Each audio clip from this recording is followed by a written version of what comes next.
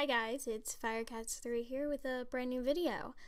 So, I was searching through YouTube and I found this video by someone I used to watch, uh, known as Project SNT.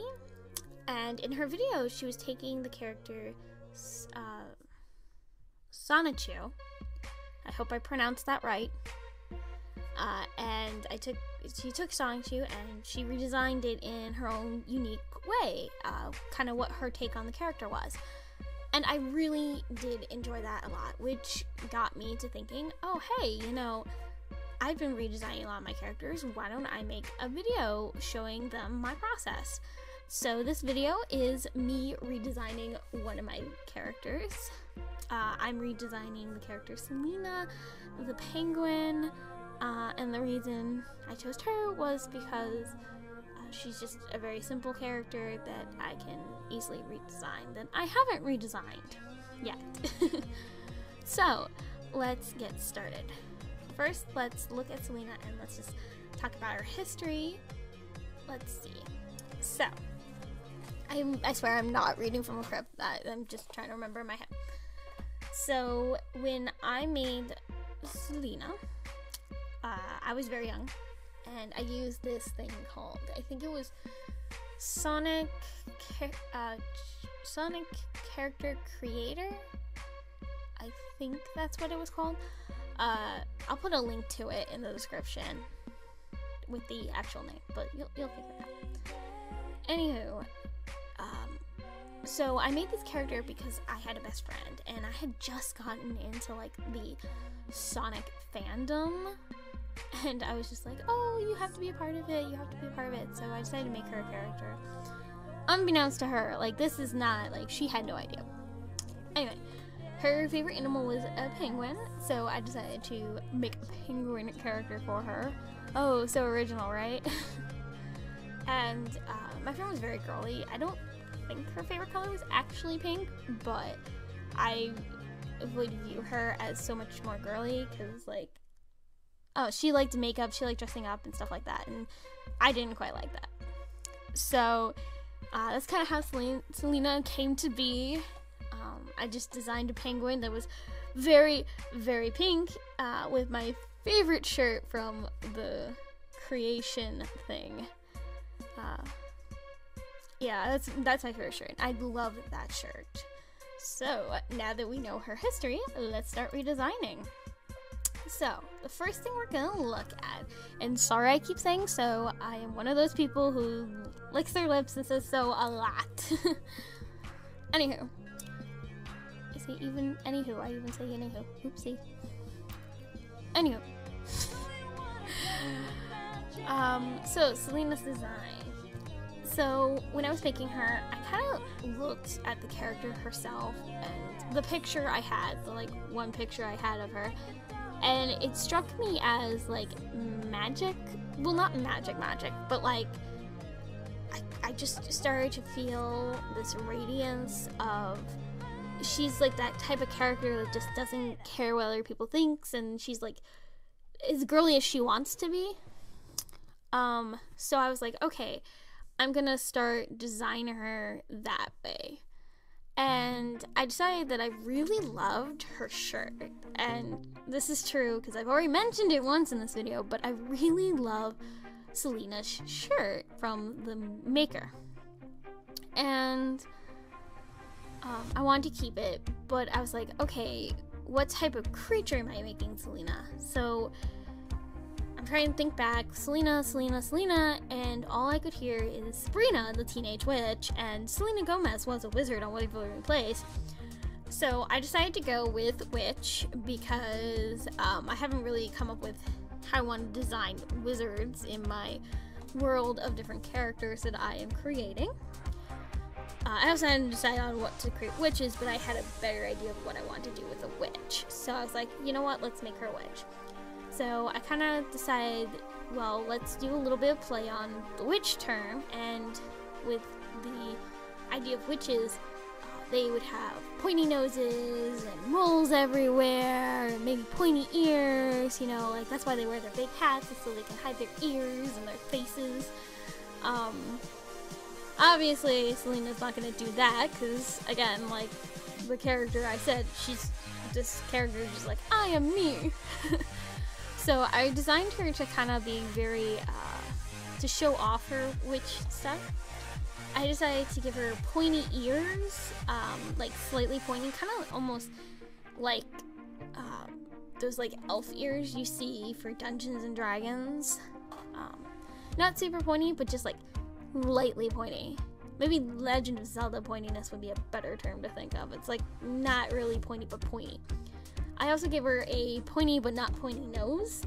Again, because I wanted to make it like, oh, some of it is true about witches, but it's like been exaggerated to make it sound like they look awful, but they actually don't. They actually look like super cute.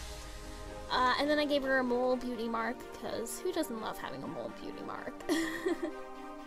uh, finally, with her eyes, I decided, well, it, since she's so magical, why don't we make her eyelashes kind of look like fairy wings? So I did like this little curl at the very end, and I personally love it because it also gives this like magical sense off, in my opinion. Yes. So uh, her hair was kept the same because, well, you kind of just. To me, uh, the hair of a character kind of really tells you who the character is. Like, if you've been watching any of the cosplayers on TikTok who do the My Hero Academia stuff, they really, like, they can dress in whatever they want as long as they've got the green wig. They're Deku. like, yeah, they're Deku if they have a green wig. Of course, you know, not everyone's gonna agree with that, but that's pretty much how it's been working with that section of the world. Um, so I was like, okay, I gotta keep her hair the same. And I kept the shirt the same, except I made it long sleeves.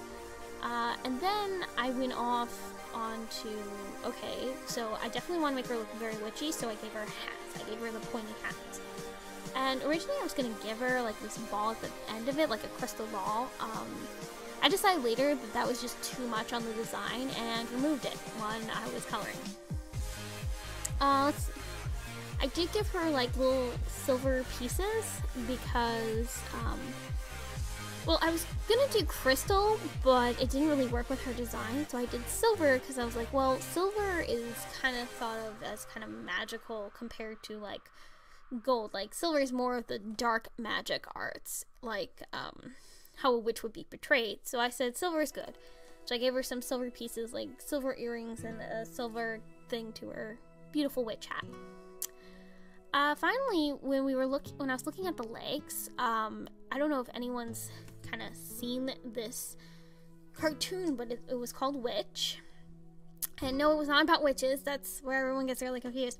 It was about these girls who were protecting the earth by closing the holes in the veil from like another place. Like a Metamoor. It was yeah. If you, it was pretty good for its time. I would say I haven't watched in a while, so I I can't give you an honest opinion. But I, if you want to feel nostalgic and watch something that was from the early 2000s, um, go ahead and watch it. it I I enjoyed it as myself. Um, but anyway, so uh, in the designs of the characters when they transformed, like magical girls, uh, they had these stockings that were uh, uh, every other they were stripes, but it was like one was green, one was this dark blue kind of stripes. And I really liked that, so I decided to give Selena that on her legs because it to me it really was kind of like this interesting outspoken witch thing. Like it's I'm a witch kind of look. Um, not really I'm a witch kind of look, but uh, you all know what I mean. Kind of like it's magical. So that's how I kind of designed her. Uh, finally, her hands, which are going to be the most fun to talk about.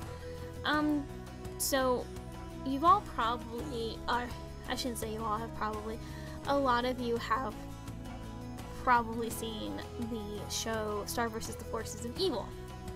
And if you've gotten far enough that you've seen where uh, you've watched the episode where um, they do Queen Moon's backstory, then if you haven't gotten to Queen Moon's backstory, skip this part because this is going to be a spoiler. Um, Okay, that was your only warning.